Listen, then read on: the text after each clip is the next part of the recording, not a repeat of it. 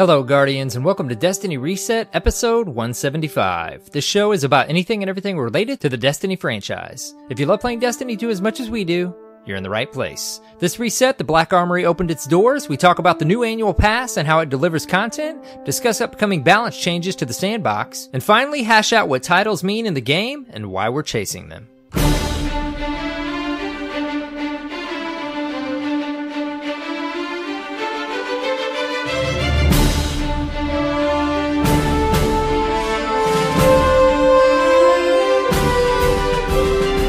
Hello, Guardians, and welcome. It's Arrow Knights and, of course, Cyborg Sasquatch. Hello. Hello, how are you doing? I'm good. I'm great. How about you, man? I'm doing well. A little, Not too bad. uh, little tired, Yeah? a little sleepy. You know, it's this is the time of the year when yes. when those content releases happen, you get less sleep. It's the uh, holiday season. Maybe everything's a little busier and new content's dropping. I'm doing the classic, like, stay up till 3, 3.30 one night. Then the next night, maybe try to go to bed a little bit more normal. And then Yeah. the next thing the next night. Yeah, like, sleep patterns are all over the place, man. yeah, it's hard to nail down something that's going to be the same every night. But Yeah. hey, we're here and we're recording. You're welcome. We're, We're gonna do a recording. I, I just tweeted out today, man. Like I'm, I'm Destiny, dude. Like I just look forward to every play session right now. I don't know about Absolutely. you. Yeah, like that's stuff I want to do uh, every Lot time I log do. in. Yeah, plenty to got- talk about. Yeah. I've got a real to do list. I have a Destiny to do list. Sometimes Mm-hmm. the Destiny one is bigger. Especially not right not now. this time of year though. No, not this time of year. Yeah, plenty, plenty, plenty. Well, let's get this show on the road. We've got a quick announcement, real quick, right?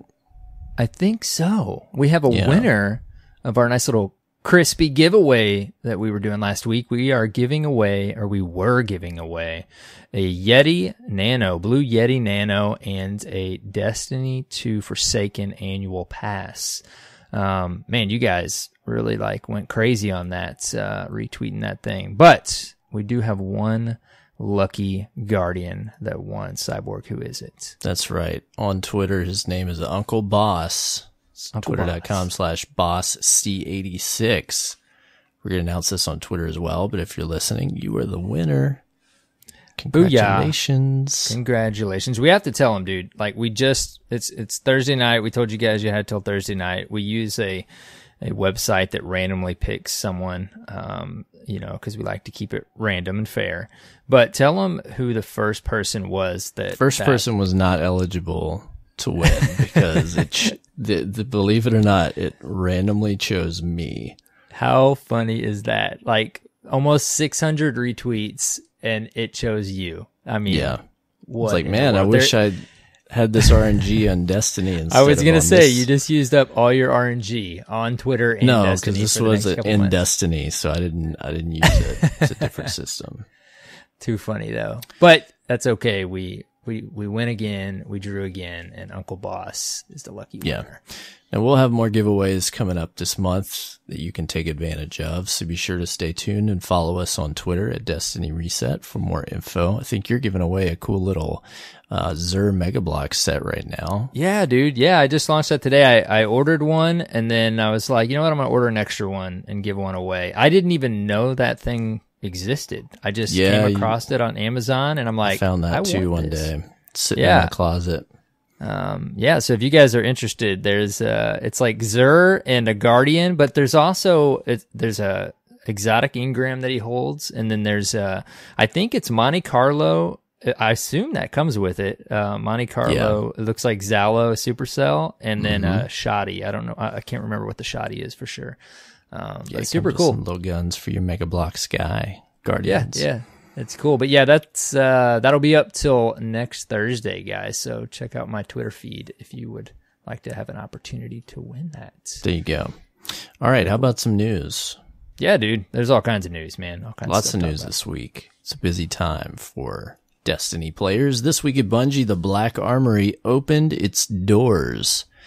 Even though we're not welcome, but mysteriously we're suddenly welcome. we we met Ada One because we had a cool key card from the spider. Yes. Um, so the forges are out in the world. Uh, by the time you hear this, at least two of them are live in the game. As of right now, we've only seen one. Mm-hmm. And um, Spoiler First- alert: There's supposedly a secret. That's what I've heard. It could be a secret forge. There's a couple Maybe. secrets Mm-hmm. found so far, at least uh, some breadcrumb trails. Right? You can go look those up if you want to see what they are. Since the whole thing hasn't really unfolded yet, I don't want to spoil it for anybody that Not too much. may like to find that stuff themselves, but there are things to uh to find even in the first forge. I'll Give you Mhm. It's always exciting times when new content drops because I love uh, watching the community figure it out. Right? That's always been a part of Destiny. yeah. It's fun. So the first forge dropped um at a at a high power threshold. And that seemed to be a little bit uh, controversial. Uh, I've heard lots of different takes this week, but uh, Bungie was paying close attention and listening. And immediately on uh, Wednesday, I think it was, right? Was it Yeah, Wednesday? think so. Yeah, yesterday. I mean, this was pretty quick. On the 5th, we're recording here on the 6th, uh, Thursday, they dropped the uh, the power um, of each wave by 5 Mhm. uh, just to make it a little bit more accessible for guardians that were around 600 power coming in. And uh, you you are going to need to at least be around the 600 mark to jump into these.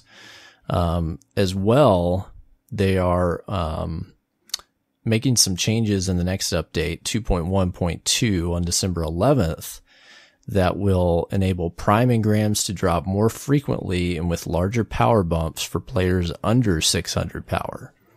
Uh, previously, the patch that last dropped, that was only for players under 550.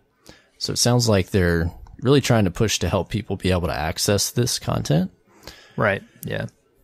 And uh, they also mentioned we are also considering additional changes to assist with the power climb in a future update. We will continue to monitor your feedback on Season of the Forge as it continues. Yeah. I mean, so what did you Yeah. think about this con- like this whole conversation? There was a big conversation on Twitter and Oh, Reddit yeah. and everywhere else within the community about um, this first forge. Um, the yeah. That's what I was going to ask you. Do we want to we want to get into that right now? We can yeah, we that. might as well Yeah, because they're talking well. about it. I think when it dropped the first wave, the enemies were six fifteen. I think there's then I six, think- six ten. Actually, I I think that here's the question I had for you. I think it was always the first wave was six ten, the second wave six twenty five, and the third wave six thirty. Yeah, Because I think that's when right. I, and then when it I went dropped in- by five. yeah, but but they did that on the server side. They said that's the only thing they they were trying to do something. For Yeah, they the can do that now. Yeah, and they did that on the server side. But if you go in right now, it still says six ten recommended power because I played it Yeah. after they did this. So obviously they can't do anything. I assume when they do a server tweak like that, they can't actually do anything to the the UI without patching the game. Um, Yeah. But I'm assuming the the enemies obviously are, the first wave now is at 605. What I thought was interesting was the jump from the first to the second wave, right? Um, From 610 to 625. Big jump. Yeah, big jump. So, anyways, I mean, definitely I, that was really cool that they reacted so fast to the feedback and and obviously agreed with the community. And um, you know, we we can just talk about that that initial thing with the forge there with the power level. I I think a lot of people are right. I'm if it was going to be one way or another, I would rather have to grind a little bit to get to that forge, but I completely understand where some guardians were coming from, even that were 600. Um, they're like, you know, new content dropped and I can't play it at the moment. But, you know, I, I feel like we're also in that period where Destiny is, the structure is totally changing. Like we are right in the midst of that, right? And to go do your normal reset stuff isn't really I saw a lot of people referring to it like as going to grind the old content. I don't really think it's meant to be looked at that way anymore. Uh, it's not Right. really you're going to grind old content, right? You're you're going to do the reset thing. You're going to get Yeah, powerful. and I think part of this is a kind of a change and shift from the old um, you know, the old DLCs that would drop. Structure, yeah. And they Yep. would have kind of their own structure for powering up with their own activities. Some Mm-hmm. of those would include milestones such as the Nightfall and some of the normal mainstays. Um, you know, heroic strikes and different things like that. But, uh, the content now, you know, some of it is, are those things. Some of them are a mixture of, you know, like the Dreaming City. Um, and so there's a little bit of, I think, I won't call it fatigue, but I think people were expecting more in terms of like what's new that you can do pow- to increase your power. Um, and I think so. So there's one way to look at it in terms of the content is they've specifically said like this content is the game level content, right? Like the annual pass is geared towards the hobbyist and for people that want challenging stuff and are typically on the higher end of power and have done a lot of the more powerful activities in the game. They want something else that's a challenge. Part of part of the problem I think is that some people didn't totally understand that you know what this is. Um, that's a messaging problem and a communication problem a little bit. It's also a problem that some people just don't pay attention to stuff. They just see annual pass, you know, it's called season of the forge, whatever. Like that's all they know. So some people just aren't going to read stuff and there's not much you can do about that. Um, but on the other hand, having something come out at that power, um, with no bridge really in between. See, the, the weird thing that happened is a lot of the activities that we were doing pre, uh, before this season, before you were 600, some activities would give you a bigger climb in power, um, because you were still underpowered for them. So if you're underpowered for an activity, it'd give you a higher jump in light. Well, everything scaled in terms of offering uh, increases in power, but the activity power levels didn't scaled. So if I go play um, Last Wish Raid, it's still the same power level, even though it's going to give me higher drops. It's not going to give me drops at the same um, increase as it used to before I was 600. So now every single you know, milestone and challenge that I go is, is a one, two, or three point increase per activity. So there's nothing there besides the forge until you beat that first forge to really help you climb that ladder. And it's a really slow grind and you can't just do that in a day. You know, you're looking at on the inside, you know, two, three days of heavy grinding to get in a comfortable position to do that forge activity unless you're just really, really good. I mean, there's players that are going to go in at 600 and they're going to do it, but we're talking about some of the best players in the game, right? Like people that are just more than, better than the average guardian, better than me. Okay. Put it that yeah. way. Like, yeah, and you're gonna have to put it. I haven't beat the forge yet. I haven't Yeah, put a significant amount of time into it Mm-hmm. because I put my time into leveling to get ready for the raid. But you know, I've, I gave it a few shots. We got to the boss and we were kind of working on our strat for the boss and we had to, you know, somebody had to go to bed. It just wasn't, we are like, well, we'll just, you know, we'll come back tomorrow when we're like 611 and do it then. Mm-hmm. It's going to be a lot, a lot more reasonable. And that's okay. I think the biggest thing that people feel and, and that I think is a valid criticism is that there's new content Tuesday and best case scenario for the average player, you're not going to play it until the weekend, you know? Yep. Yep. It's like, man, well, that just kind of sucks. 600, right? It's it's uh, that classic thing. And, It's- and this is the same yeah. problem we had with the raid. Hmm. New content, very excited to do it, but grind as much as you want. Unless you're just God's gift to Destiny players, you can't even access it. yeah. And I think it's, um, I think it's a philosophical problem over there, like with how they're expecting or what they want people to do in this game. That's, I think the bar is set a little bit too high. Well, I think there's a couple different things going on here, right? Like, um, it's one. Can you imagine if the the there wasn't? Let's say there wasn't. There was only one version of the Forge, okay, and it was way easier than what we got Tuesday, and everyone could beat it on the first or second pass. Right. People wouldn't be happy, right? So they just got new content that they paid for, and they just grinded through it in a matter of like one day. So we have the opposite of that right now. People can't even beat it. They can't even attempt it on the second wave for the most part because it's 20 to 25 power levels higher than them. So, Yeah. you know, that's the challenge Bungie faces. I think the other there thing wasn't a middle ground. I think. in- Right. There's no middle ground. I, the the best feedback I saw was it would have been cool because I mean the way you look at this is this is the first thing of many things we're going to get over this these next many weeks. Like this is the first tier of many tiers in this new structure. Like it's Yeah. it's like it's like we're back in that position where us and Bungie, we know what we want out of Destiny now. We've all figured that out together. But now it's like, okay, what do we expect from this new structure? We're like Yeah. in the very beginning stages of that. Yeah, that. and they're so, kind of in the yeah. the. We're both in a different position because it's a new way of providing content. the game. and Yeah, yeah. It's a new and I think- activity. Yeah, right. You know? and and I think um, one of the best things I saw in the community uh, feedback wise for this position was this is the very first tier of release in this new structure. It's the first forge. Um, it would have been maybe cool to have a an introductory, like easier version of it to run and complete, and then the harder version unlocks. So at least you did Mm-hmm. yeah, and they have a new one coming out this Friday. Yeah, it right. would have made Yeah, total sense to have a, a little bit lower power activity this week to Mm-hmm. teach people about it.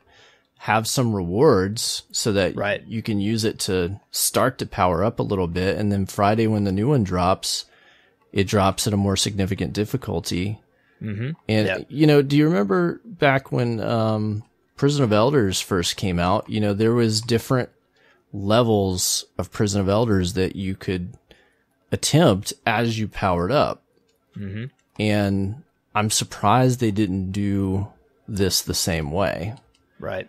Yeah. um, and have different There- reward there's- structures. And and the the worst thing about it is like apparently once you beat the first forge, there's stuff that opens up with Ada that you can do that including Yes. some milestones, Yep. um, yep. you know, other stuff you can buy and do and other That's weapons. you huge, man. That's exactly what I was going to say. Is that's the other big part of this, and I think why the community, you know, a portion of the community responded the way they did is all of that stuff for with her, our new vendor was locked. Just what you said. Yeah, if at the very behind least- the first completion. If at the very least we could have been able to do that without completing it, then maybe you could power up. I don't know, man. It's it's it's a tough nut to crack. Either way, I don't think the implementation was perfect, and I think that um, it could have been handled a little better. Better. I I was happy and surprised that they responded as quickly as they did. With, Oh, yeah. you Yeah. know, even just great. dropping it five points did make it a little bit more within reach. Um, and you know, I'd really like, like, I'm, I'm gonna plan this evening when we finish here to go and attempt it with a couple friends. And I think that we'll be able to, to complete it. Um, but you know, I think this is a little bit of growing pains and, Oh, um, for sure. Yeah. I think I think their intentions were all good. You know, like their their main focus, I'm sure right now, is to keep the hobbyist levels in the game and and keep things coming week after week after week. And this probably launched, and I know they're testing it, and I know maybe they should figure this stuff out before it launches. But again, it it, it does kind of seem like a bit of new ground for us and them with this new structure. And I think as quickly as they responded, they realized it too, and they're like, "Hey, we're going to drop this. This is what we can do right now. Drop the power level. We'll probably Yeah. do something a little bit more substantial." And um, yeah, I think it is growing pains. I think we're we're just in that first tier of this new structure of the game, and um, I, I think uh, I think we'll see in the many weeks to come that the overall plan of the hobbyists and stuff like that is is there. I hope you know. And and the other quick thing before we move on, I wanted to mention a lot of people were I did see in the community too where they were talking about like what about the guardian that stopped playing at 570 right. and I'm like you know, my first response to that is they did say, I believe, in the Vidoc, like everything in the annual pass, not everything, but the the new stuff is in game stuff, right? Yeah. And it, it's kind of expected that if you didn't hit max light in the original vanilla release, I mean that's just kind of the way games work, right? I'm not saying Yeah. I don't want those guardians to not have anything to do. There there is other stuff for them to do, but I do understand they want to do the new content. So it's again, man, it's weird. It's a delicate balance. Like we can't expect them to release new content that you can do at 570 light, right? Like you Well, kind of and I have to stay up with the game. I think there is a middle ground that may be a little underserved or underrepresented here in that, you know, they're aiming to produce this content for a little bit of the hardcore audience and hobbyists, mm-hmm. right? Mm-hmm. But that, but there's still guardians that play a lot of the content and maybe they don't spend as much time on the grind. So maybe they For did sure. the raid once or twice and they did the Shattered Throne once, or maybe they didn't, and they did some some things, and then they they stopped playing, or they played a lot more casually, but they in the past would still keep up with DLC releases and come back to play new campaigns in new activities, and for that Guardian, they're looking at this like, holy cow, that's like sixty power.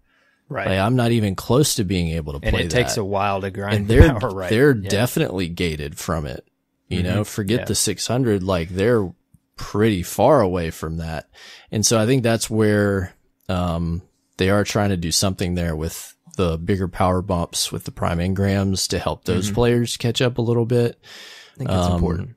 So, you know, this is a this is a new thing. This is a new idea and unfortunately, you know, we've talked about this so many times like they cannot do and be all things to all people.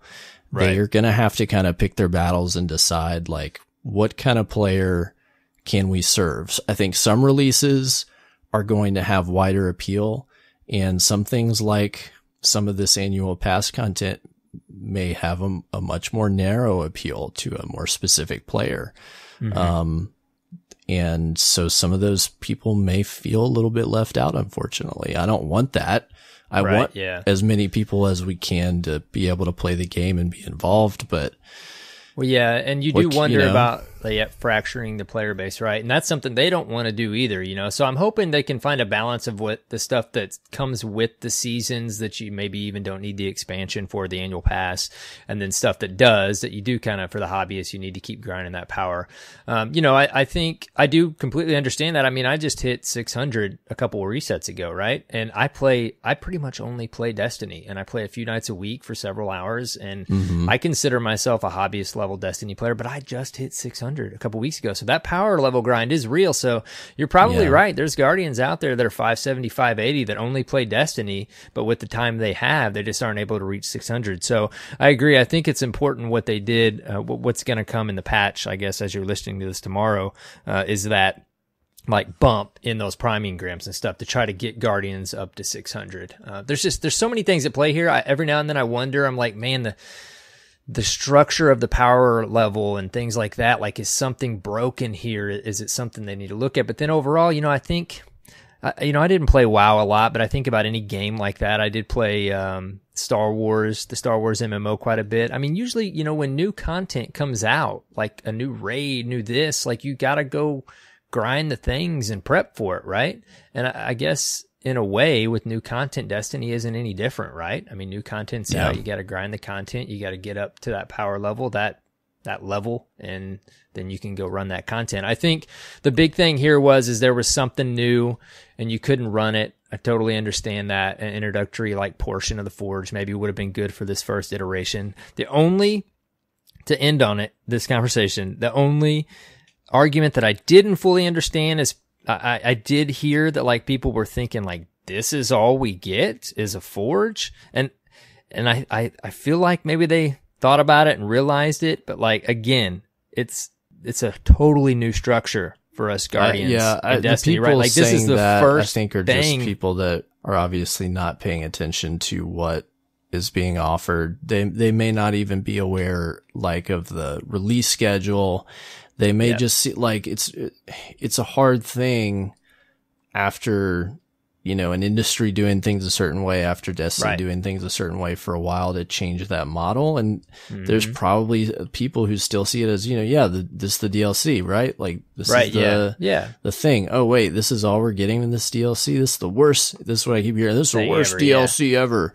Like, Yeah. well, you, okay, great, but you've only seen an eighth of the content. So what do you Right. know? You know, it's it's going to Yeah. be staggered out, and um, it, that's And then you wonder, just to- like, like, and I do don't you- mean this in a malicious way. It's just totally ignorance. I think. Right. Yeah. well, that's what I was going to say too. And, and actually, our team was talking about that in our Discord um, today.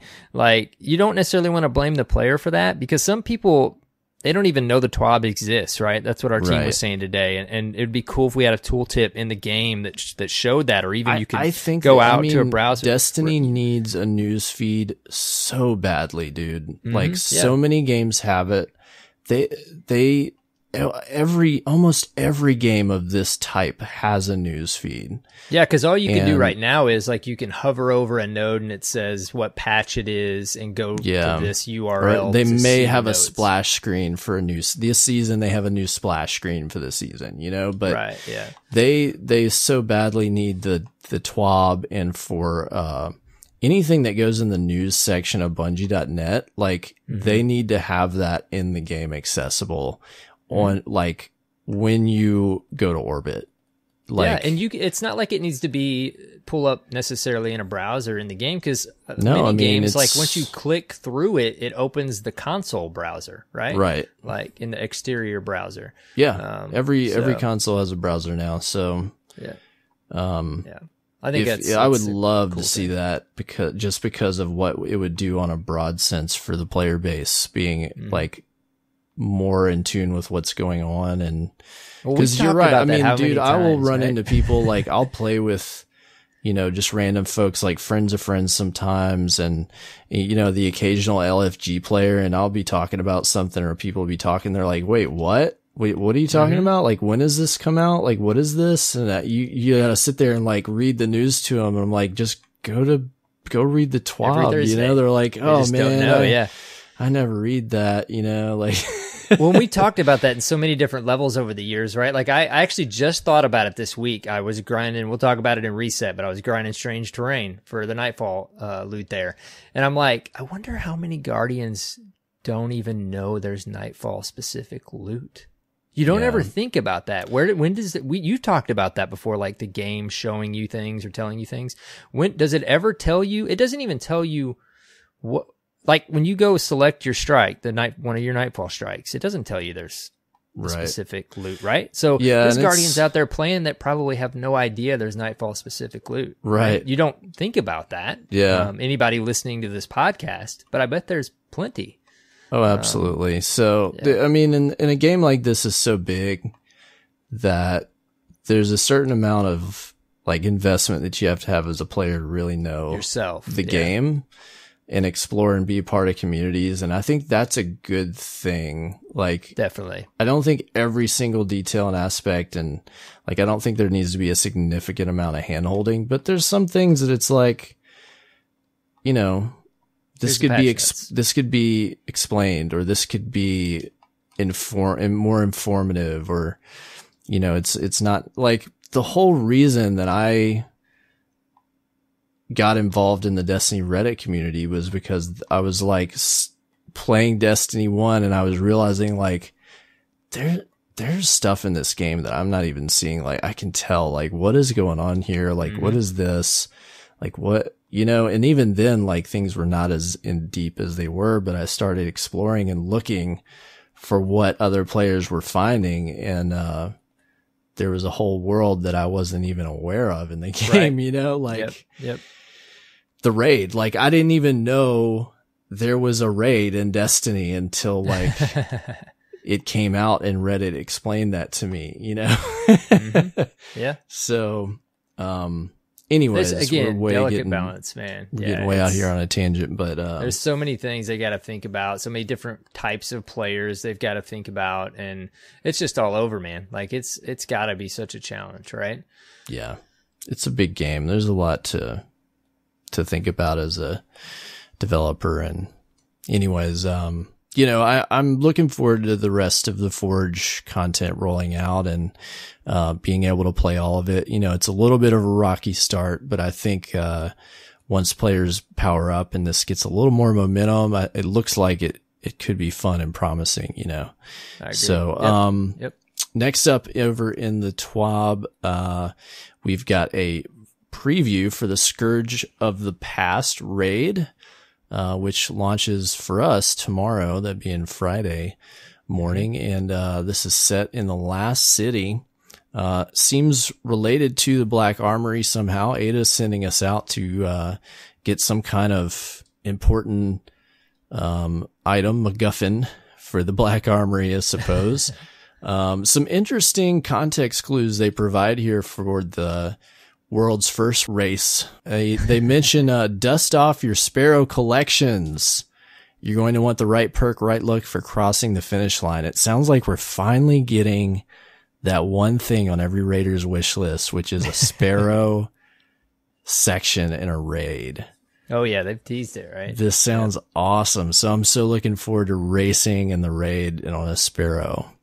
yeah, I'm excited, man. Like I'm gonna do my usual for this one and and watch the race. And Yeah. they've got me pumped about this one, just relating it to um, uh, Wrath of the Machine and like the quick pace and this or that and the action, uh, kind of, and the setting too. The setting's just so so surprising. Yeah. Yeah, they mentioned cool the to last city is no longer safe.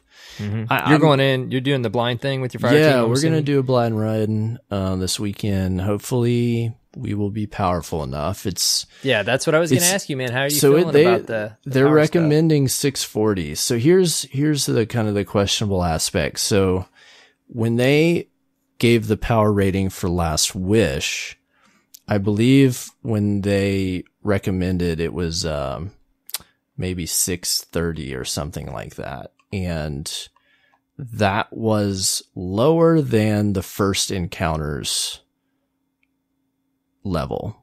So like when you went in the first encounter, it was higher than what they recommended. It was very confusing. And then it scaled up, you know, dozens of power points beyond that. So it was very confusing. I'm, my guess and my hope here is they're recommending 640. I'm thinking that may be like on the upper, like I'm thinking if they they're doing it properly, the first encounters are going to be lower than that. Does that make mm-hmm. sense? Yeah, And it may skip because if the power cap is 650, you know, the, the last encounter is probably got to be between 640 and 650, right?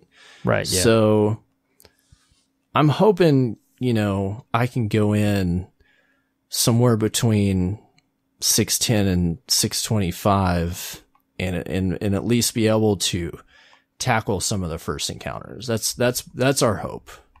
Um, I'm, I'm really hoping that it's not going to be handled the same way as Last Wish.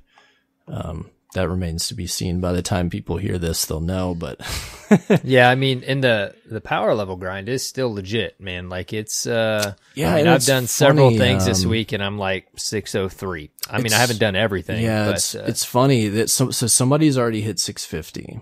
I don't know saw if you saw that. that on Reddit. It's Yeah, pretty yeah. insane. I mean, they were really like working the system and stuff. I've seen some, you know, yeah, they like stream. I've seen some of the streaming bounties, community. Yeah, Did, yeah, yeah. I've seen some of the streaming community that are already uh, in the 630, 640 range, which is not too surprising, but you know, they're a lot more equipped than they were for Last Wish. And so I don't expect that this is going to be another 24 hour raid, uh, for World's First. But I, I just hope that for me, and I've been playing a lot, you know, six to eight hours uh, an evening this week, um, that I'll at least be able to access it. I'm, I'm 612 on one character. If I can get, you know, 616, I'm hoping that I'll be able to do something, you know? right. Yeah, I hope so. So- too, man. I hope you can do.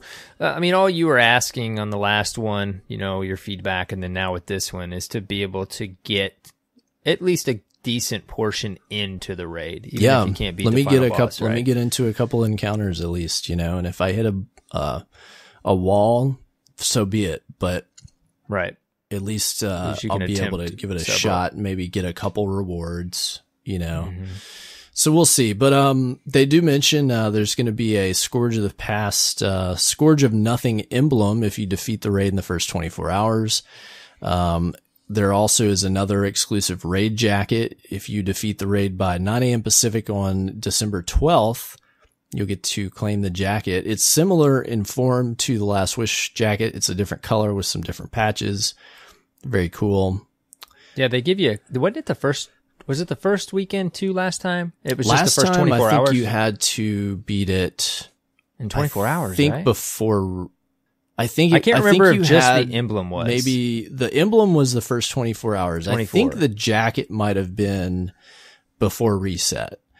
Mm-hmm. Um, this one you actually have, um, they're given an extra day.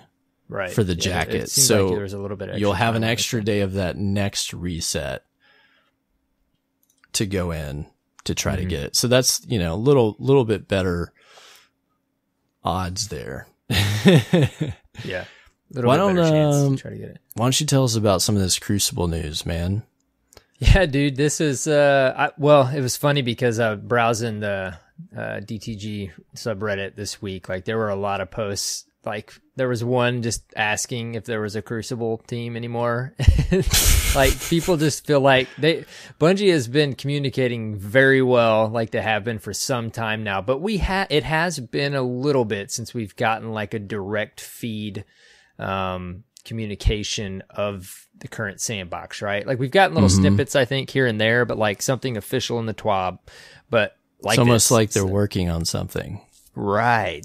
So, um, you know, uh, it's uh, it's definitely time to hear about some things in the Crucible. I do feel like the sandbox. Obviously, it's way more chaotic than we had in Vanilla D2 by design. The community said they were bored Yeah. with the extreme balance we had in Vanilla Yeah. D2. So now it's it's definitely fun.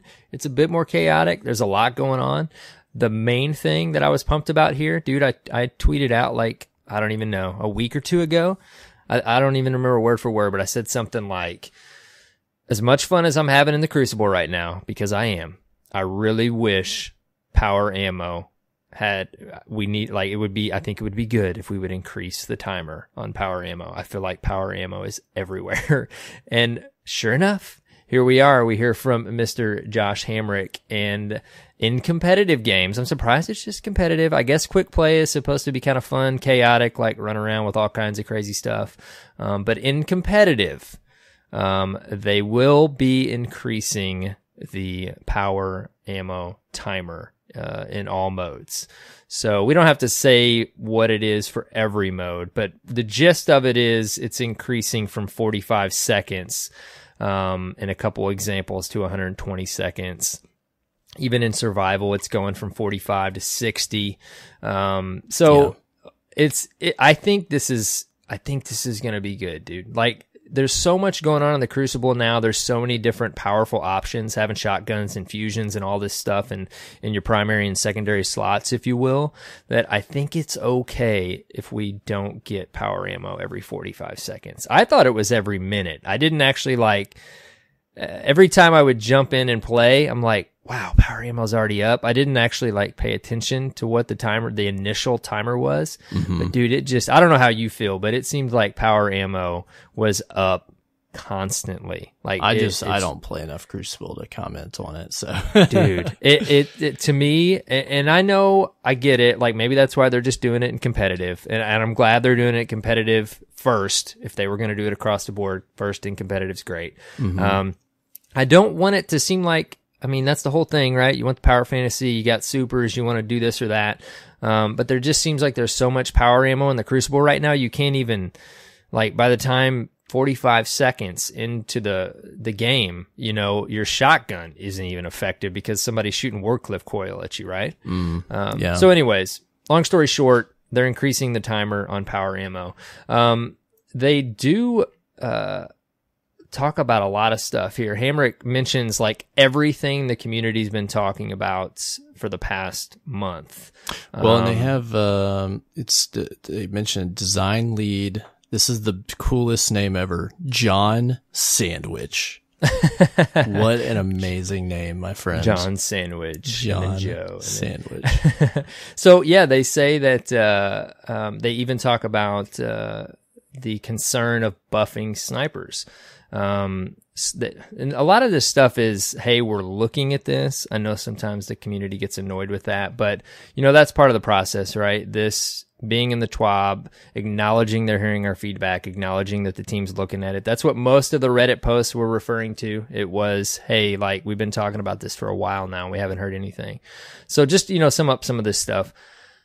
They say snipers are definitely one archetype we are actively looking at making changes to. Um, for example, later in January, rapid fire snipers will move to a two body shot kill. And this is a big one, dude. I loved this about Destiny 1. They're also considering allowing more snipers to be able to one shot supers on headshots. Yeah, that's a big Um, one that I think people would like. Big one, dude. I, I, am that one. surprised though. Um, they mentioned that they don't have any plans to alter sniper flinch. Yeah, that was that was surprising because that's been a hot topic for a while now, right? Um, Mm-hmm. The the how how much you feel like you get flinched. Um, the the other thing they mentioned too is the lower zoom scopes. Uh, they do exist in the game, they say, but post Forsaken weapons um, have been largely largely limited um, to. I guess there's not many Forsaken weapons that have these lower zoom scopes. I don't know because I still use my OG blue Aachen LR2 from year one. There's a year two version too, but it's got ambush on it, dude, and I can't. It's hard for me to use any other sniper because it's got that old school D1 ambush scope on it. Um, but it would be nice if we could get some snipers with some uh, some lower zoom scopes. Now here's the other big one. This is great to get acknowledgement, right?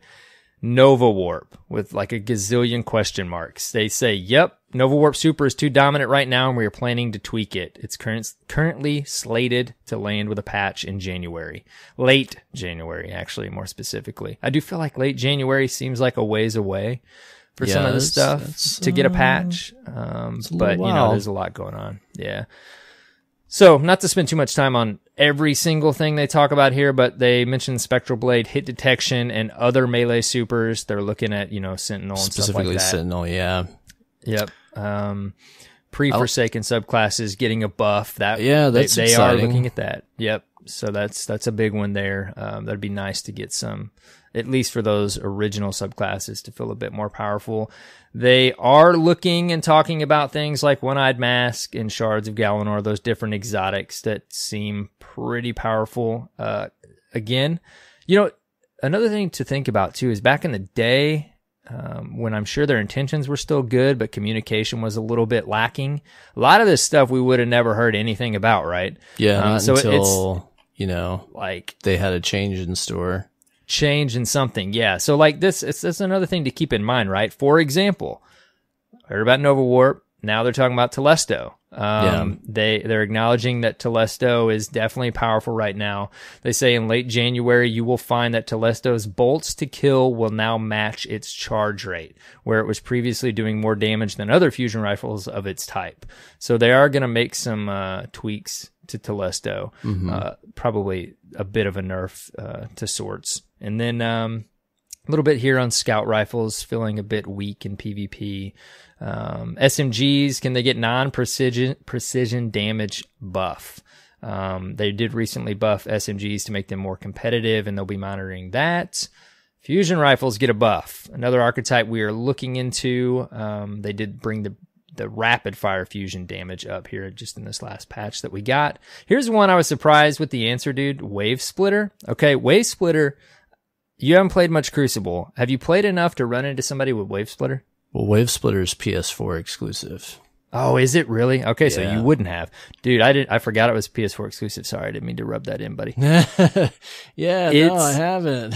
you don't want it. You don't want to have it in the game. It it absolutely melts, dude. I threw up a clip weeks ago when I was still working on my Luna, trying to get hand cannon headshots, precision kills with my trust, with with people shooting Lunas and not forgottens at me. Wave splitter, dude, just melts you. Like I got, I think I spawned in that clip like two or three different times and just was melted by wave splitter within like a minute's time. That thing is crazy, but it's fine. You know, the, again, the Crucible is a bit more chaotic place now. It definitely, I, I, think there's no question it needs to be tweaked a little bit. I'm all for powerful exotics, but it's, it's crazy powerful, dude. But their answer was it's not at the top of our list, but we do intend to take a look at it. First, we want to take a look at global ammo economy for trace rifles and PvP, and then we can take a look at wave splitters effectiveness. Yeah, they, so, they kind of keep tweaking, uh, trace rifle ammo and different stuff right. to try to make those fit well because from what I understand like if you can use them trace rifles are really powerful oh yeah in yeah. PvP but they're they're really tricky to use you know mm-hmm. because mm-hmm. you can't yeah. like the, the, they're just so squirrely trying to get those precision shots on a moving target you know mm-hmm. yeah I'll have um, to send you that clip too dude because I don't know. I don't know if maybe Wave Splitter. I don't know the numbers. What's um, the what is the exotic like perk? Like what does Wave Splitter do that's different? I don't even know. I don't. I don't even okay. know. I don't even. I, I don't it, know. Man. I've never played yeah. with it. And nobody yeah. talks. I just know that it, it, so melt. It has melted my face many a time. just know it hurts you so good in the Crucible. Yes. So you know, again, powerful exotics are fine, but that thing definitely. I, I gotta send you the clip now. Probably I'll probably do it tonight or tomorrow just so you can see that thing. Okay. Um, but the next one, Titan skating. This one was kind of surprising to me too. They say Titan skating is rampant on PC. Do you plan to remove it? We'd like to fix this. However, we're being careful about how we do so because it's so closely tied to the core feel of lift, the lift ability.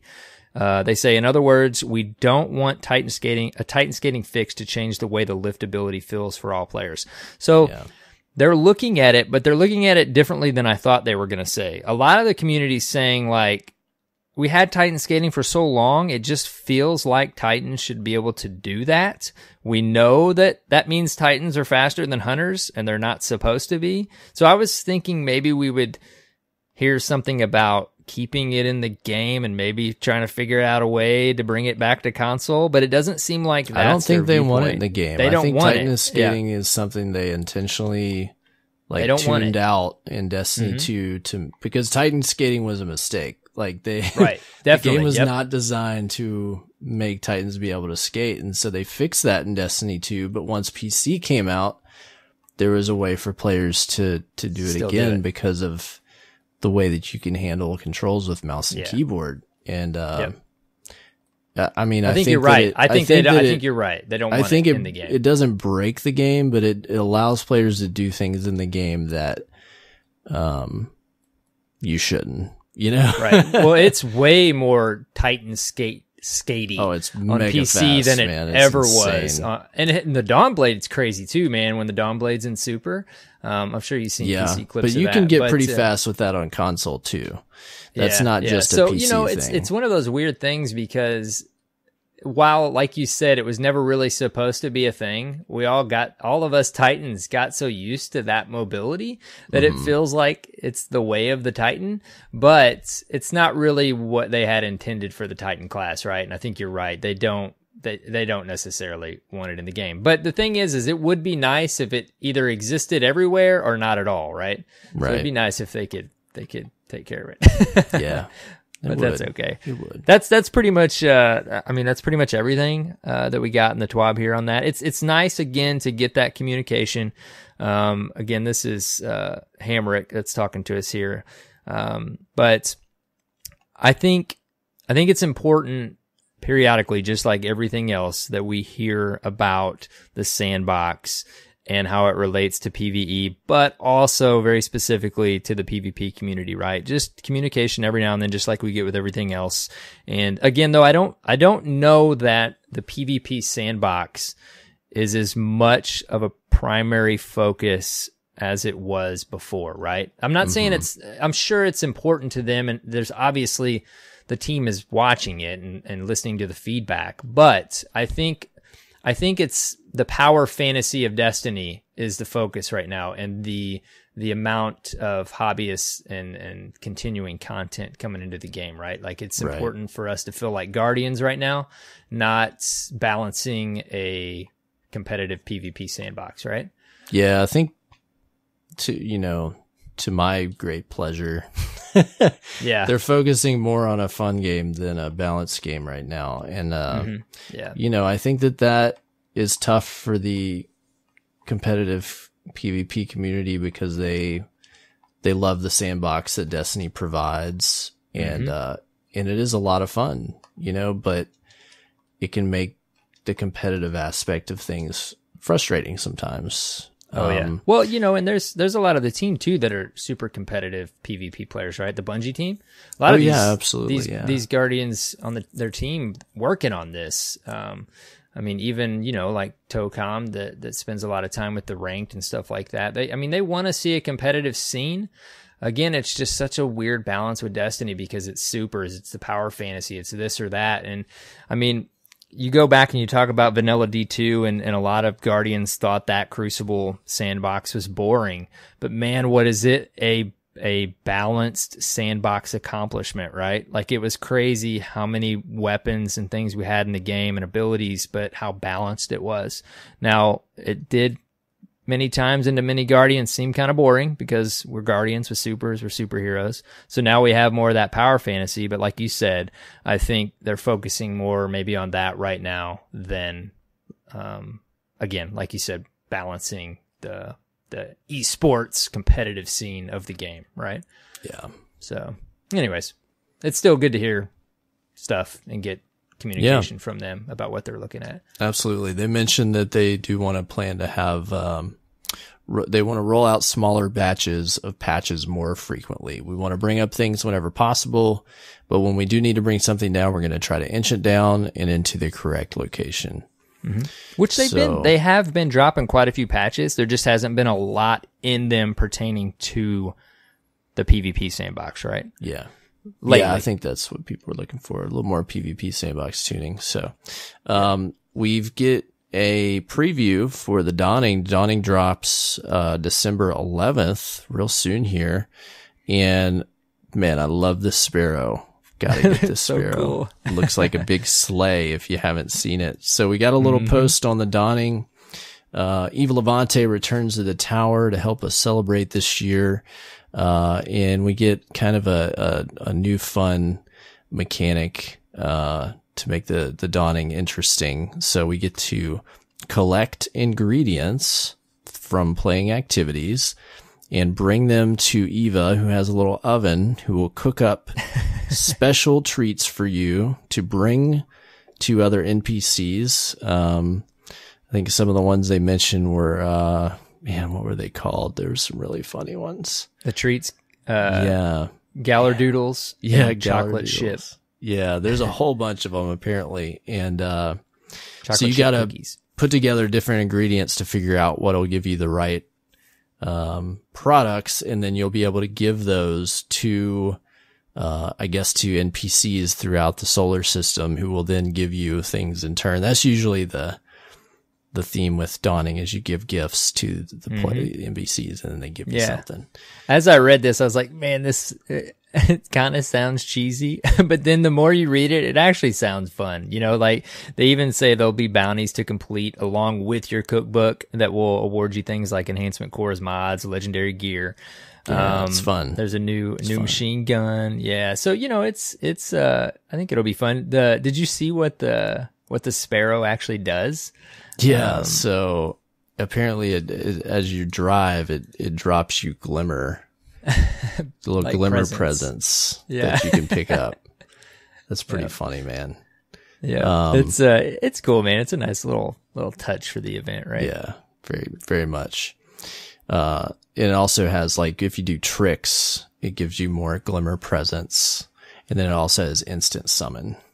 I Um, immediately was just thinking about guardians riding around everywhere trying to land tricks to give everybody presents. Like I think Yeah. it'll be a good little vibe out in patrol and stuff. Yep. They're also going to have some triumphs to earn. Uh, I think as you mentioned, there's going to be a, a avalanche heavy machine gun with random rolls. Uh, and then you, there'll also be, uh, bounties to complete. Um, and you'll be able to earn enhancement cores, mods, legendary gear. Uh, looks like, of course, there's, uh, some armor. Uh, and then there will be, um, the new, you know, engram drops uh, a dawning engram that you'll get on leveling up along with your, uh, your other engrams you'll get this season. They show off uh, a ship, uh, cool ghost shell, and then they've got some pretty cool multiplayer emotes. So apparently these uh, are, you know, we've ha- we had like a kind of multiplayer emotes in Destiny One, but they always didn't always work great. Mm-hmm. So apparently these are a lot more functional. You, you, one player will initiate it, and then if the other player goes up and does the emote, it kind of locks you in to sync cool. it up. Mm-hmm. So they Very show cool. like a high five. Um, there's a really funny, uh, hockey like throwdown emote that I know a lot of people are excited about. Um, this one I the love. Ship, dude, looks cool too. Yeah, there's an exotic emote where you bake some cookies. Oh yeah, dude. It's yeah. so good. Yeah. And then they mentioned they're going to have, um, some of the ingredients to buy, um, for Bright Dust, if you like. Now you will have to earn a currency called Essence of Dawning that you can only get by playing activities in the game. So you can't just totally buy your way through this, but you will be able to, uh, get some extra ingredients with your Bright Dust. So that's a, you know, nice thing to, uh, be able to throw some bright dust in if you've got a lot. Uh, and then finally, Dawning ends Tuesday, January 1st, as I predicted. Yeah. Yep. I'm so hey, good. I don't know if man. we, the, the one sentence that stood out to me the most, and we kind of talked about these treats, but it says once you have your ingredients, you can start combining them to create some tasty treats. Do you think?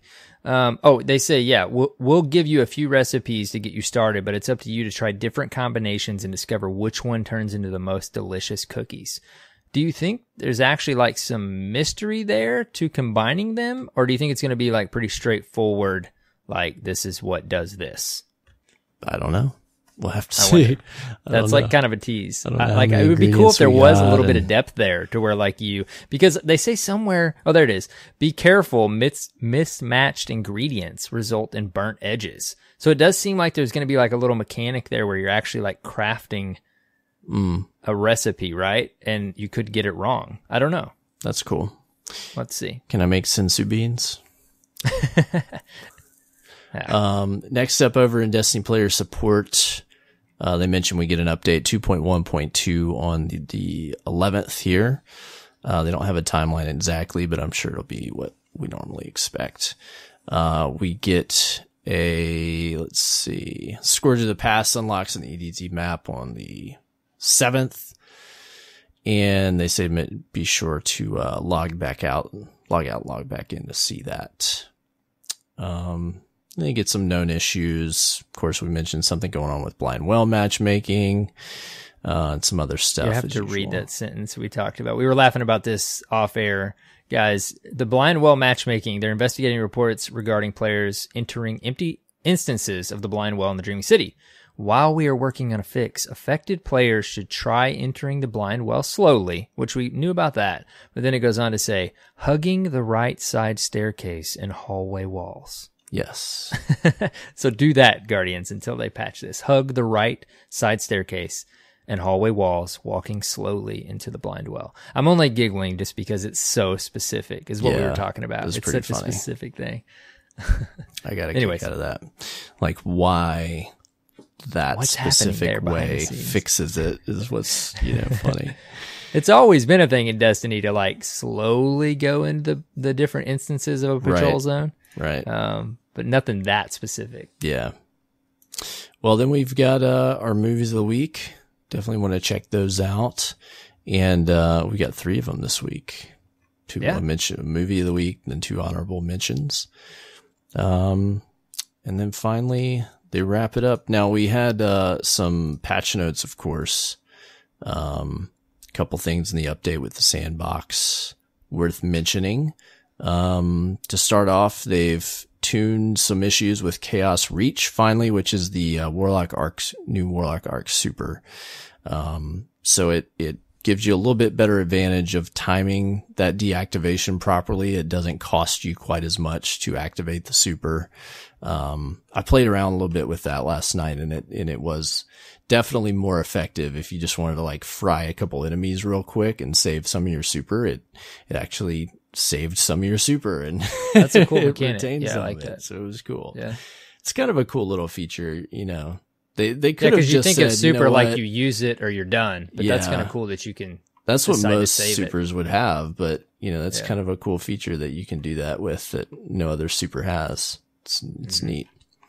Um, they fixed some issue where the overshield granted upon respawning in Crucible would not negate damage right away. Um, what are some of the other big ones? They Let's did fix an issue with scout rifles where they weren't the firing at high impact scouts weren't firing at 150 RPM, which apparently was like through the entirety of season four. Yeah. Um, so, and then I believe high impact scouts now can three headshot guardians in the crucible. So, um, you may see more of those in PvP. Just a heads up. Indeed. I hear Polaris Lance is Uh, back to its, uh, Yeah. former glory. So I'm excited because Yes. that's like my favorite scout. Yeah. You, you like Dude, that. that I love sure. that gun so much. um, they did some tweaks to Gwisin Vest, uh, fixed an issue where kills were not required to extend super uptime, uh, in an issue where super was not extended after 10 or more kills. Uh, chromatic fire, man, I want this exotic so much. This is the warlock, um, uh, what is it called? Chess piece that basically gives you Firefly on everything. Oh, wow. and uh, they've been having them to make some changes to that a little bit. So they fixed an issue where explosions were doing less damage than intended. Uh, I want to I want to put that on with so many guns and apparently there's uh as part of the some of the new Black Armory mods, there's a Firefly mod now.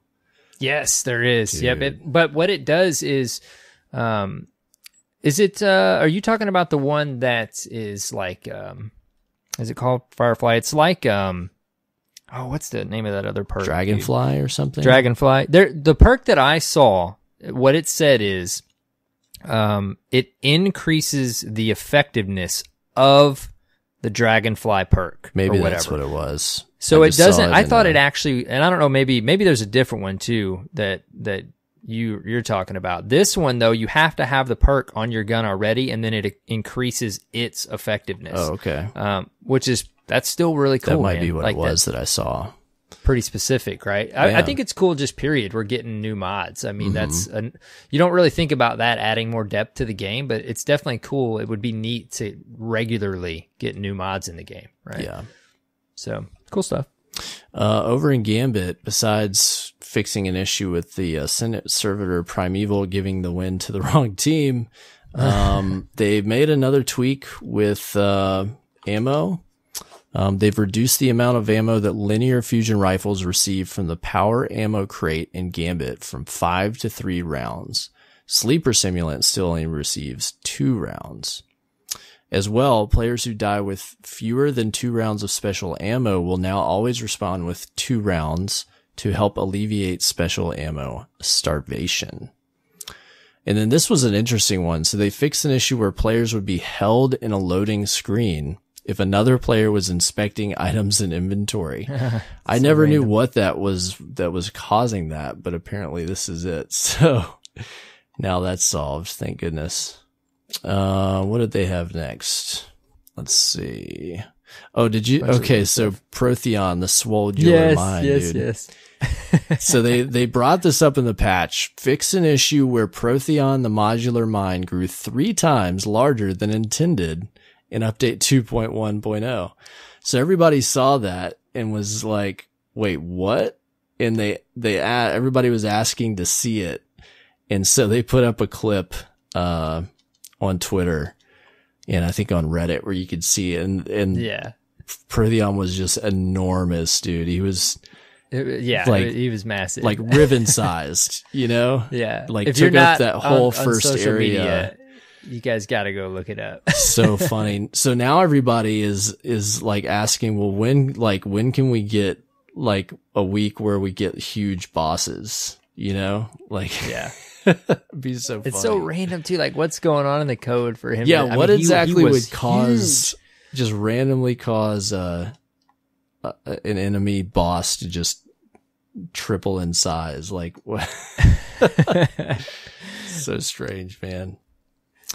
Um, they fixed an issue where Morgeth, the Morgeth fight would cause uh, Destiny 2 crash. Thank goodness. So we could go do that raid again without that trouble. Um, and then some general stuff. They fixed, uh, this was a big one. They fixed an issue where the Harbinger's Echo Sparrow was locked out for players who destroyed dragon eggs across multiple characters. So this is if, um, you were in progress, uh, like if you had not destroyed all the eggs yet, it would fix the issue. However, if you've already destroyed all the eggs and you did not get the sparrow, they have another fix for that scenario that's going to be coming in in the next patch. So if you completed all the eggs and you didn't get the sparrow, there should be a fix to that next week. And that's important if you're trying to get curse breaker, I think. So Oh yeah, definitely. Yeah.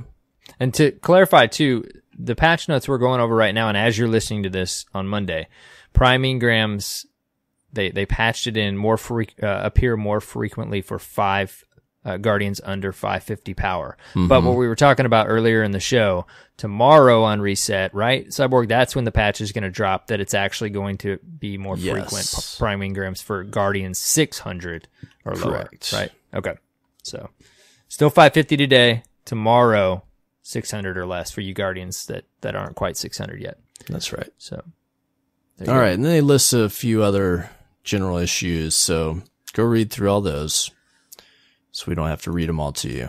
You're welcome. Put it, maybe Uh, they'll put them in the game. and I think that's all the news, man. That's all the big stuff. Yeah, We don't know yeah. yet There's some there's some completed secret the stuff. scourge yet first. And, you know, None of that stuff yet. we're recording a little early, so forgive us, but we'll talk about it next week. Don't worry. Yes. And I'm sure they'll like like I mentioned, there's secret stuff going on. There- There'll be more figured out. We may depending on how fleshed out it gets, is how Cyborg and I decide if we're going to talk about it on the show yet. We don't like to spoil some things for you guys. Yeah. So Yeah. All right, man. Well, that's the news. that's the news, Cyborg. Uh, how was your reset, buddy? my reset has been busy, man. You know, I kicked it off and so we've got the first, you know, initial part of the Black Armory, right? That you've got to complete, which includes, you know, you're working on this different quest for a machine gun. So I kind of worked on that and then, um, realized, okay, I've, I've got to grind for power. So just jump back in that power grind, man, just wiping out all the challenges on my couple characters. I I can't do three, so I've just been working on two, and so I've done a couple raids. Um, I've done all kinds of stuff. I don't know, you name it. I've been doing it in Destiny, except for competitive. And, See, it, it- uh, was it? It's still fun, right? Like Yeah, that it's- that that concept of having to do old content. Like the reset just feels different now, right? Like you, Yeah. you get in there and you you do your reset routine. You go to these Right. these places and you do your thing, right? Um, yeah, absolutely. And uh, you know, I'll tell you one thing: Gambit super competitive this week. Oh my goodness, going I into Gambit. that.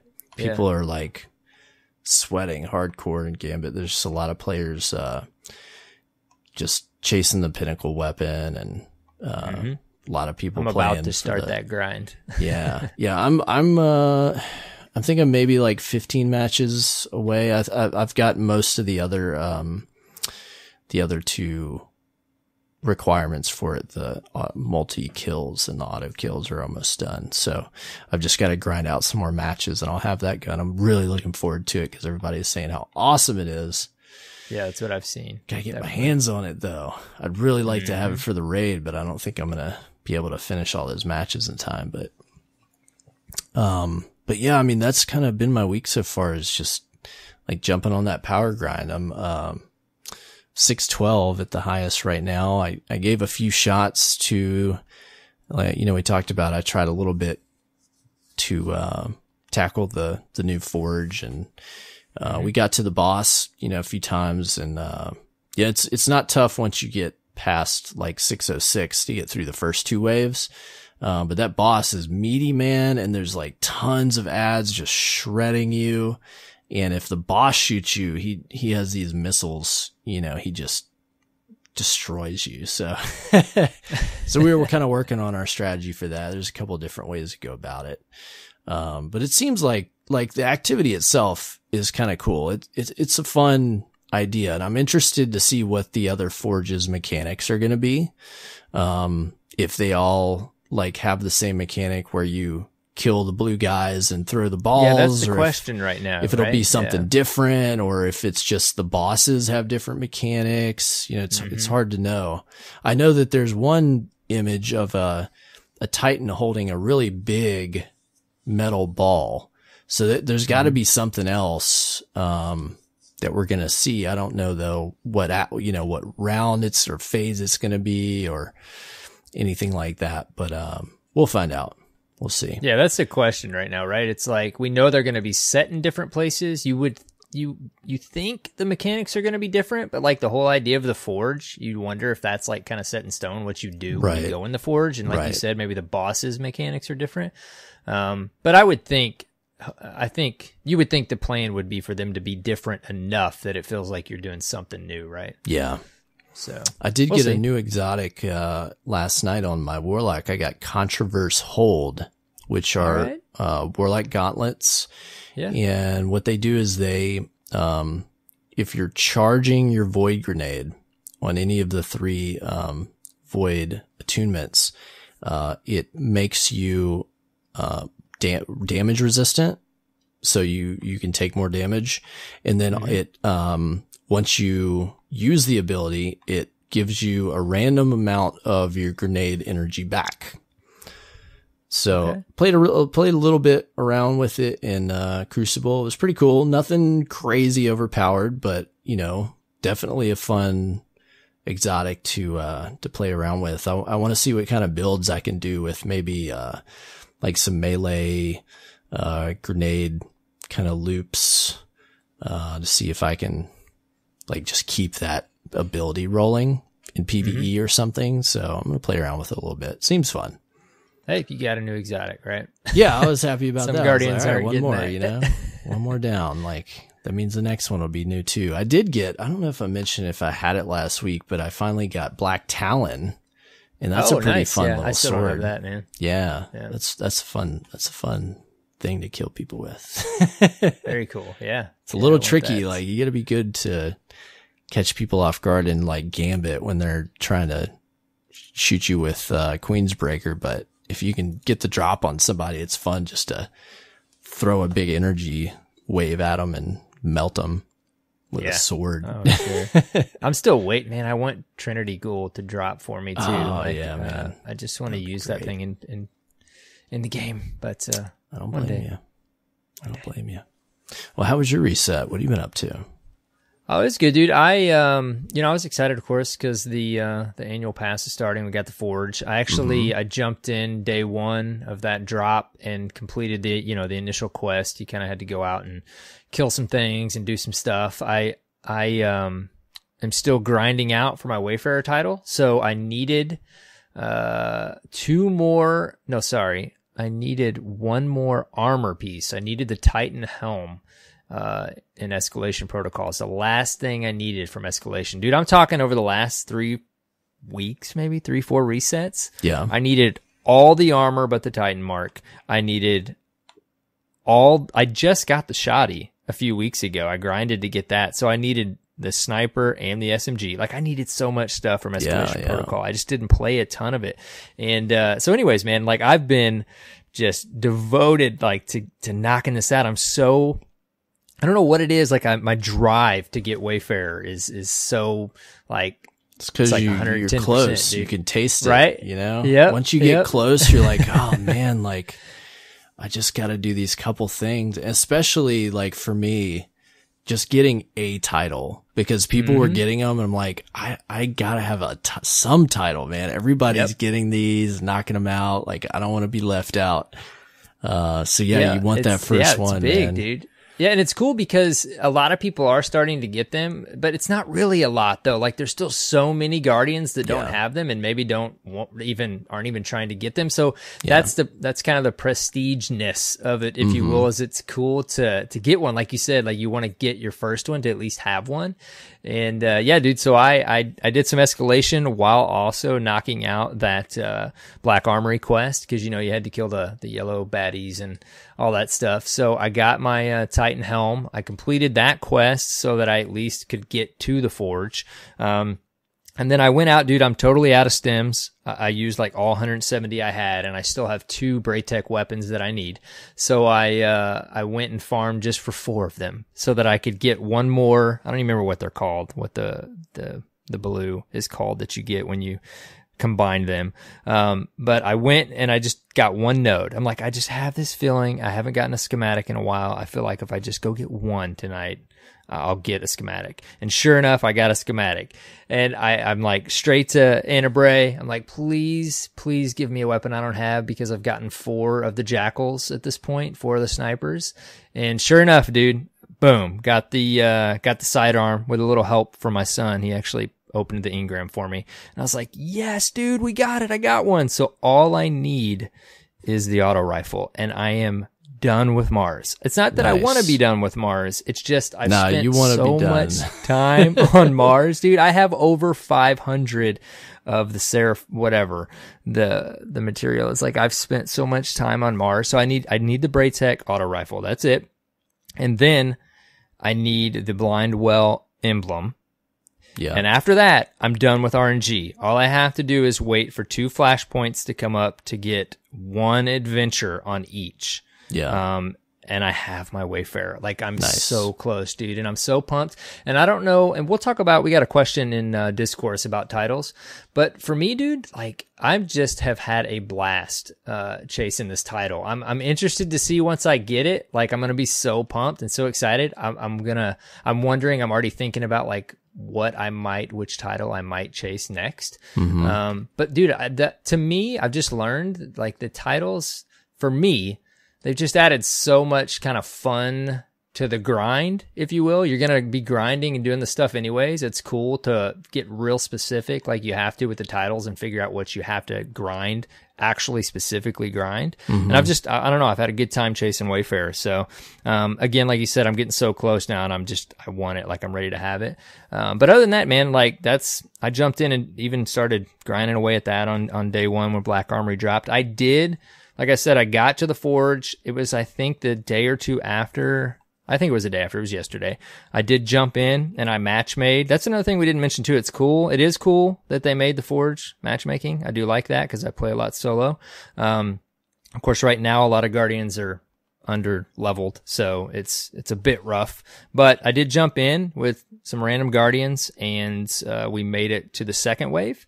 I haven't made it to the boss phase yet. I've only ran it like three or four times, but that's something I, I want to do over the weekend. I want to try and get that unlocked so I can get access to all the stuff at Yeah. 801 and all that good stuff. So, you know, man, just the the usual reset. I did do a little bit of power grinding. Um, I kind of did some stuff on Dreaming City on my Titan and my Hunter, but my my focus right now isn't even like to increase my power. I, I'm so focused on my title, man. Like I want to get the RNG aspect out of the equation. So then all I have to do is wait for those flashpoints. Yeah. Um, so, anyways, man, that's that's what I've been up to. I've been I've been having fun, man. Like, there's definitely the the hobbyist stuff to work on, and even with you know new content dropping, it's I still like have the drive to go do that other stuff. Um, so I'm having a good time, dude. Good time. Good.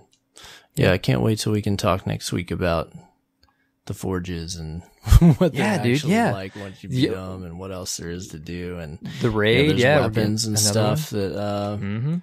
That we can earn stuff. So we'll have more to and talk armor, about. right? People yeah. are figuring out how to get the armor to drop and all that with the Yeah. her weeklies and stuff like that. So there's definitely much more to explore with that initial forge. So sure. it'll be. I, I probably do need to focus a little bit more on my my actual power so that I can get that completed. But uh, grind it out. So All right, anyways, man. man. Well, how about some Dirt Fam discourse before we end the show? Yeah, let's do it. We got an email this week. Actually, just mentioned it because it's about titles. Um, Yeah. it's from our good buddy Quentin. We got a few emails from Quentin. The subject is more incentive for titles. Ever since the introduction of titles, I've never really seen a really good reason to get the titles. Now that Forsaken has been out for three months and we are heading into the Black Armory, I've been seeing a lot more Guardians with titles. But but that got me thinking, what next? If I'm going to grind for the titles, I'm going to need more of an incentive to get these titles. What if there were specific quests, bounties, armor, weapons, etc.? If there were anything else tied to the grind, then it would be worth it. There needs to be an end game goal for titles, but that's just my opinion. What do you guys think? Love to hear from you guys on the next resets. That's an interesting question, dude. Um, I'm gonna let you have at it because this is a perspective that I hadn't really thought of, and I actually I don't. I just kind of talked about it. I actually I I'm kind of on a different wavelength with the titles. Um, I'm interested to hear what you think about that. I I think I think Quentin's perspective is probably not totally uncommon, but I think the way he's looking at it is these are cool, but what does it do for me? And mm-hmm. They're totally there as as just a thing for bragging rights. Like it, the title is the reward, you know? Mm-hmm. And if that doesn't do it for you, then the titles really weren't there for you.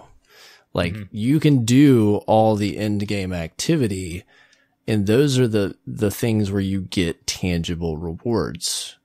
Um, you know, pinnacle weapons and, um, you know, the, the, the great raid stuff that you can earn and a thousand voices and like things that are hard to get that are like the physical representations of what you've done.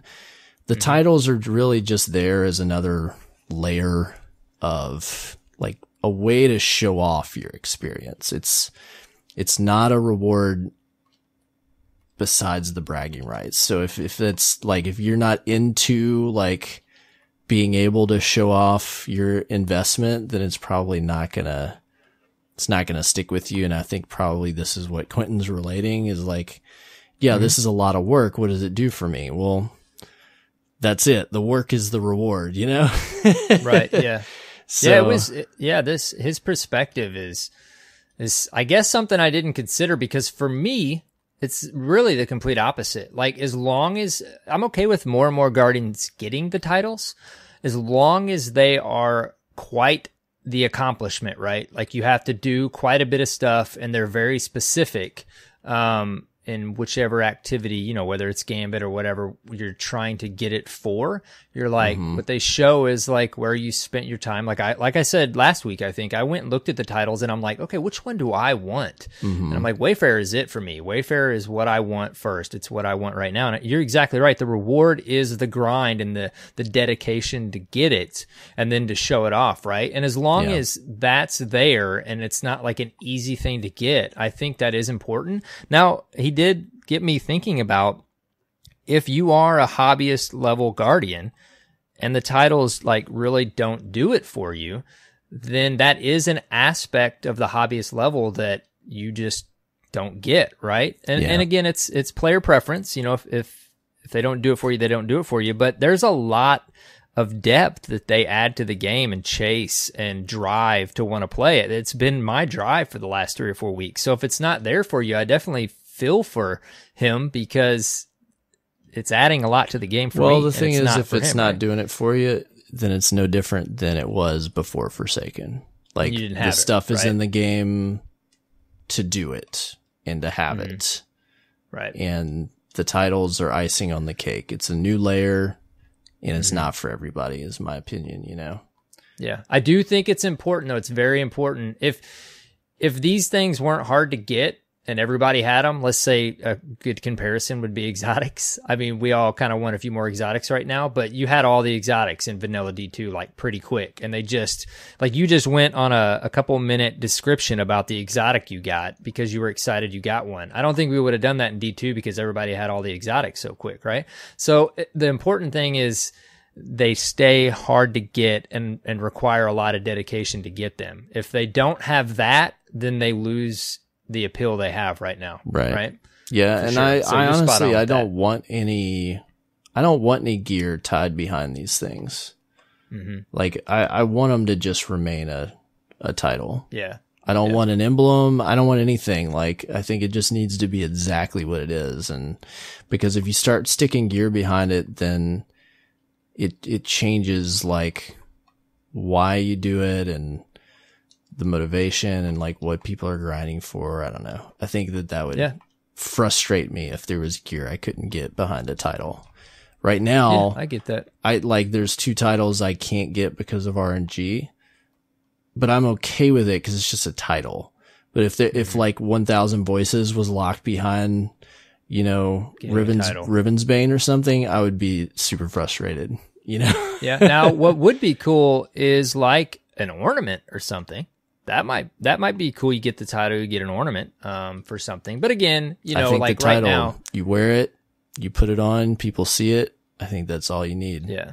Oh, I agree. I agree. Like there's plenty of drive there for me. I'm you know, I'm thinking about Quentin's perspective, you know, like you said, before Forsaken you didn't have the title, so you just have something extra if you want to do it. But again, it is adding depth for a lot of Guardians, and if it's not your thing, it is some depth you're missing out on. Again, it's player preference. So I, I hope that you find Quentin like a drive to do the titles because, you know, for me and it seems like Cyborg as well, like just getting it is like I'm dude, I don't know what it is, but like I'm looking forward to logging in every day and trying to knock out another little step of getting my Wayfarer. Um, and it's I don't know, it's it is adding a lot of drive to the game for me just in their current state right now. So, Well, thanks for the but we always Quentin. welcome perspectives. Yeah, Yeah. right. Like we want to know I what you appreciate guys your think. perspective. If you want to send us an email or a speak pipe, you can send an email, destinyresetpodcast at gmail.com, or you can send us a speak pipe, which is like a voicemail, speakpipe.com slash destiny reset. Uh, now's the time where we give some shout outs to our patrons. We've got quite a few this week since they uh, sent us all their usernames. Who we, who's our new patrons? We got, yeah, several. We got one from Chezzy, I believe, Joshy2K, LD Fades, and Egginator. All right. this week. You guys are awesome.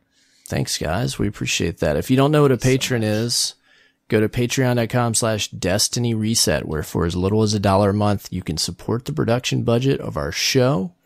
You get a couple of uh, perks if you do become a patron. You get a shout out on the podcast. You get your gamer tag posted on our website. And finally, you get an invitation to our Discord channel just for Dirt Fan patrons and supporters. Yes. And just a heads up, guys, uh, we have gotten a couple messages that it's not auto adding guardians to that channel, that specific channel in our Discord. If it doesn't, you don't see the patrons and supporters channel show up in the Discord server for you, let us know because we can manually add you to that server. We're trying to figure that out right now, why that's not working properly. Yeah. Just a heads up. Let us know. Let us know. Let us know. Let us know. so clever. uh, you know, I just like to sing stuff. You do. You should do it more often. Where can people find you? You can find me on all the things, but mostly, specifically, the most content I drop is Twitter at AER0KNIGHT and on YouTube as well. AER0KNIGHT Gaming. I've been posting stuff pretty regularly lately. Yeah, man, you've it. been banging out some videos. So trying to do one a week, man. I I'm, great. I got another one probably already up as you're listening right now. So I appreciate anybody checking out my YouTube channel. What about you, dude? very cool. You can find me at Cyborg Sasquatch on Twitter. Also worth mentioning, I always forget to bring this up. I am on another podcast. I haven't Yes. plugged it for a long time, but if you want to hear about um, all things nerds like, it's the best way I can describe it. Uh, go check out Splash Damage Radio. Uh, I co-host with my buddies uh, Better Off Blue and Shaka Khan, and we just talk about movies, games, TV shows, uh, sci-fi, like just anything. I mean, that we just recently did an episode on uh, D and D. Uh, well, I was out, but they they had uh, Furion on, and they they talked D and D. I mean, we just cover just whatever we're into, and so it's a wide berth, but um, you know, maybe something there that you enjoy um, a little more casual, you know, just open setting. And, uh, we'd love to have you come and take a listen if you, if you're looking for that type of podcast. So it's Splash Damage Radio is the show. You can find it anywhere, uh, podcasts can be heard. And, uh, you can follow us on Twitter at Splash Damage Rad. Do it, Guardians. If Yep. you, I'm sure you listened a couple episodes ago and you probably picked up on it. But if you didn't, Blue that was on the show is is Yeah, better yeah, yeah. Blue. If you found him entertaining, Yeah. If you're one of the few that can, that can get into that. guy. I'm just kidding. Uh, finally, you can find us at Destiny Reset on Twitter and on the web, destinyresetpodcast.com. Um, thank you as well. If you listen to us on Apple Podcasts, we appreciate your reviews. If you're listening and you do listen on an iTunes or Apple Podcast device, please go leave us a review. It helps us get seen and heard by more listeners. Yeah, dude. Well over 200 at this point. So we thank you guys so much. That's You guys have amazing. dropped us a review. Very Yeah, much man. All right, dude. All right, that's a show. We uh we uh were talking before we started like we want to record, we want to get this out to you guys. We love releasing the show, but we also want to play Destiny. So we, we got to log off, sign off and go log into Destiny, right? That's right. That's right. All right, guys. Until next reset. Have fun playing Destiny 2 and take care, Guardians.